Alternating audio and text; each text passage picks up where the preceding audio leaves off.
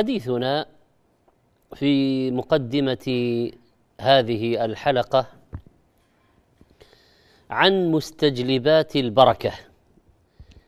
البركة الخير الكثير. مصدر البركة من الله عز وجل. تبارك اسم ربك ذي الجلال والإكرام. عظم عطاؤه. وكثرت خيراته وكملت أوصافه. هذا معنى تبارك اسم ربك. فالبركة الخير والنماء والزيادة. وقد قال النبي صلى الله عليه وسلم البركة من الله. فكل ما نسب إليه مبارك. كلام مبارك رسوله عليه الصلاة والسلام مبارك عبده المؤمن مبارك بيته الحرام مبارك كنانته من ارضه الشام أرض مباركة. لا مبارك إلا هو.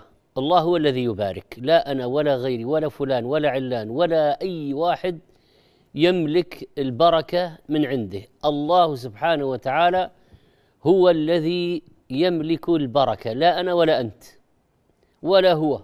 ولا زيد ولا عمرو. البركة من الله.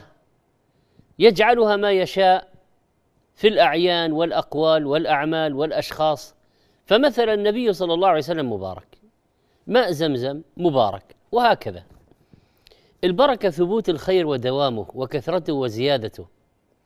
من أراد البركة يطلبها من الله ما يتمسح بأشخاص ولا أولياء ولا يذهب يطلب بركة من مقبور ولا حي ولا ميت. يطلب من الله.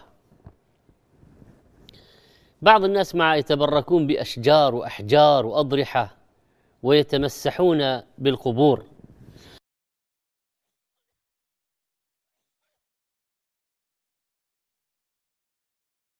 ويلتمسون البركة بزعمهم من هذه الحواجز الحديدية الموجودة على القبور وأعتاب عتبات القبر.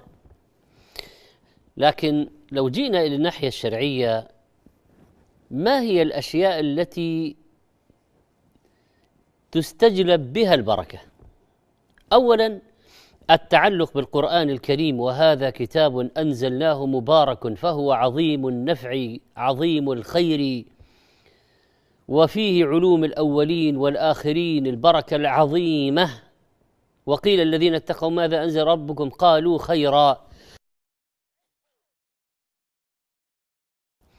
لو عمل به الناس لفتح الله عليهم بركات عظيمة لو أنهم أقا لو أنهم عملوا أقاموا ما ما ما أنزل إليهم من ربهم قال الله سبحانه وتعالى لاكلوا من فوقهم ومن تحت أرجلهم.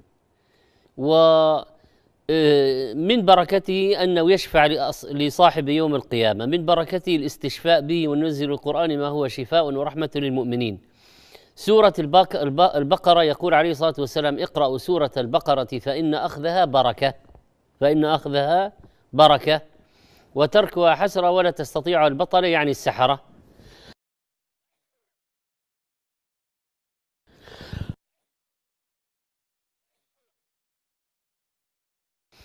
من مستجلبات البركة الإيمان وتقوى الله. قال الله عز وجل ولو أن أهل القرى آمنوا واتقوا لفتحنا عليهم بركات من السماء والأرض. بركات بلا حساب بركات من فوقهم ومن تحت أرجلهم بركات أنواع وألوان وأشكال وصور بركات في النفوس والزوجات والأولاد والأرزاق والمشاعر والعيش والحياة والنصر والفتح والأمن